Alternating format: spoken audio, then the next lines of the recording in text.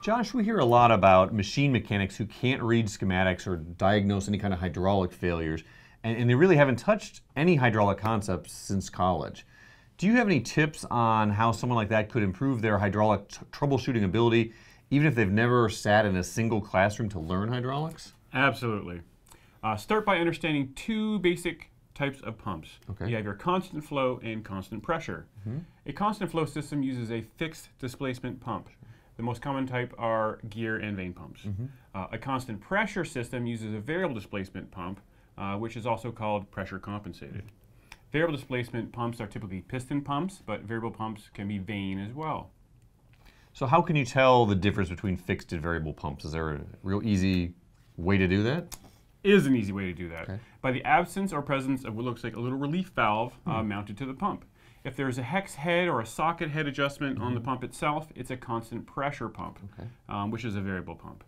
Uh, when you're establishing uh, the type of pump during machine failure, you can start by diagnosing the cause of the failure.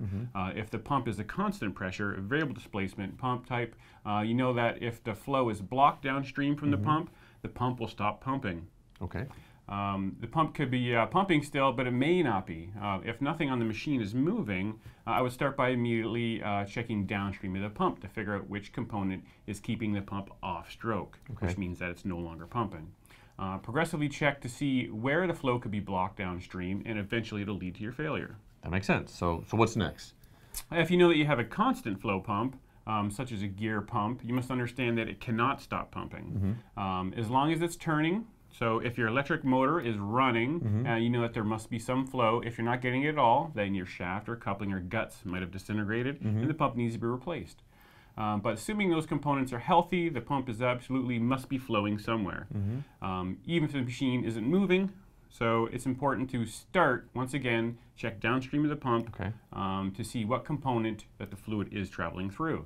Um, you can help diagnose the, the failure from there.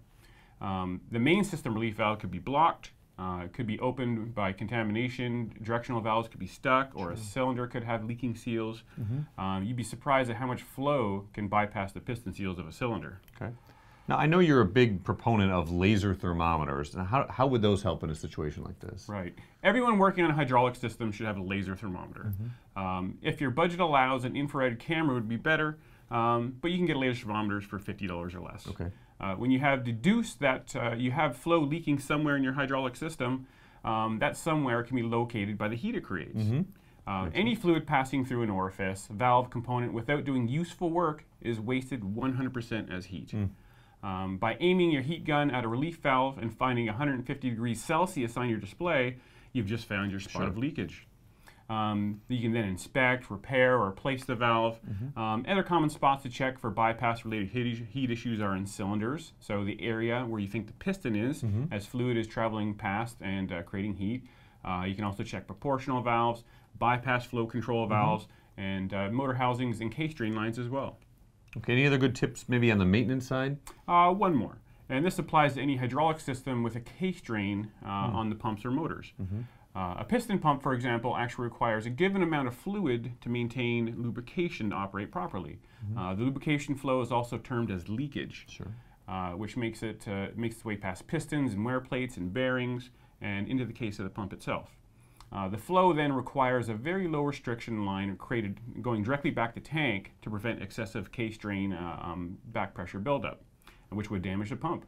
Uh, case drain flow is a sign of pump health.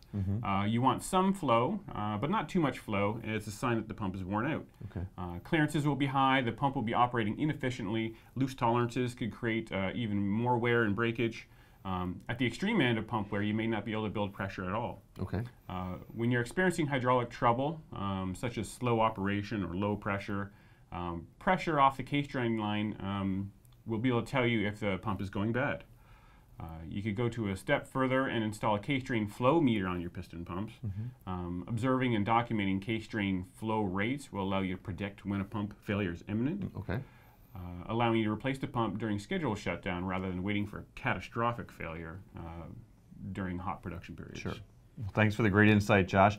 The next time that you have a hydraulic failure in your plant, volunteer to tackle it. By challenging yourself with some hydraulic projects, you could quickly become the hydraulic go to expert. For more videos, please check out www.fluidpowerworld.com.